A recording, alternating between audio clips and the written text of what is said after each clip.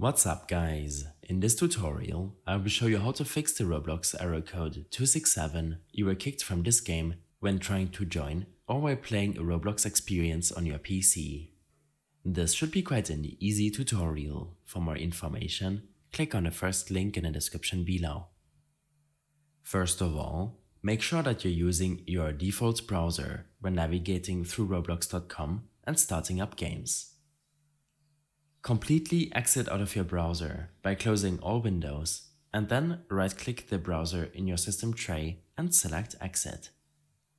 On your Windows PC, search for Default Apps to open up your default application system settings.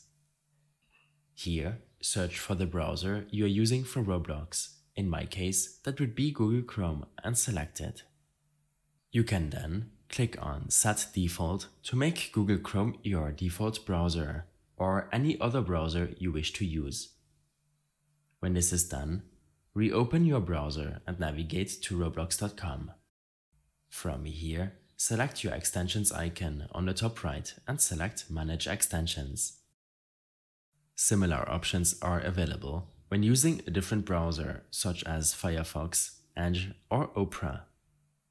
If you're using an ad blocking extension or any other extension which could prevent a website from loading and showing content, then make sure to disable it temporarily to see if this fixes the you were kicked from this game after starting up an experience.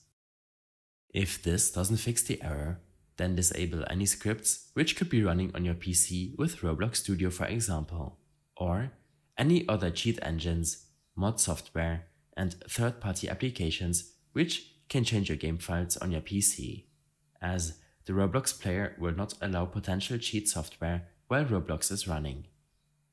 In your Task Manager, identify these processes, right-click the task and select End Process. In my case, that would be CCleaner, my antivirus application, or a game launcher such as Steam, which is currently installing a new game. In addition, you should prevent these apps from starting up automatically in the Startup Apps tab of your Task Manager. Simply right-click the applications in question and select Disable. To further troubleshoot this problem, make sure that parts of the Roblox player application are not being blocked by your Windows firewall. Search for Firewall to open up your Firewall and Network Protection System Settings window. Here, click on Allow an app through Firewall. A new window will open up. Click on Change Settings and then try to locate the Roblox application in this list. In case you're unable to find it, then click on Allow another app. Next, click on Browse and your File Explorer will open up. The file path for the Roblox application is first of all the drive on which you saved the game on, most commonly your C drive.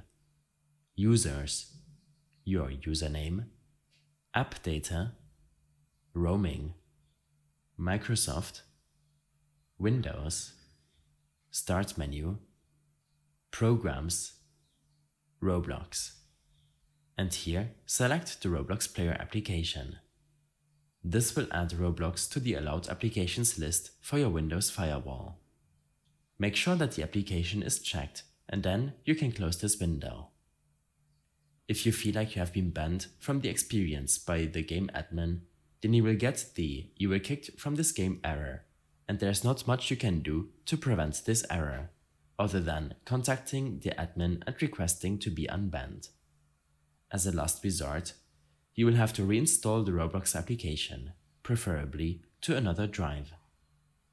In case you have any further issues or problems following this tutorial, then I suggest following my extensive guide linked in the description below.